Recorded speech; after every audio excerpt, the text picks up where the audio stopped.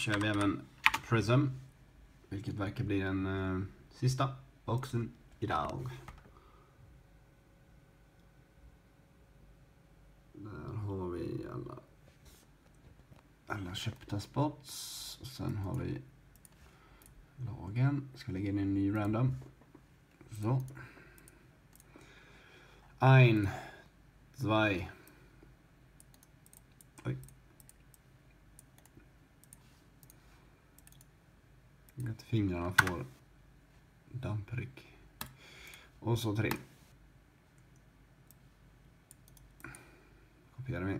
Här var ju ett bonuskort till Anaheim. Ska vi se vem som fick Anaheim då.